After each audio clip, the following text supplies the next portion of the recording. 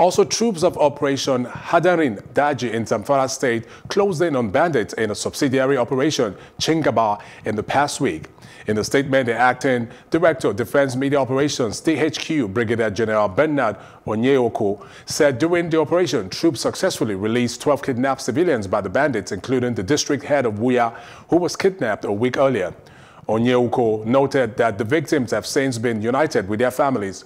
Also in other clearance operations conducted in Bungudu local government area of Zamfara state, troops killed in contact nine bandits and arrested 14, as well as 13 houses on the bandits were cleared and set ablaze by troops. According to him, a total of 67 cattle rusted by the bandits were recovered and handed over to the district heads of the communities.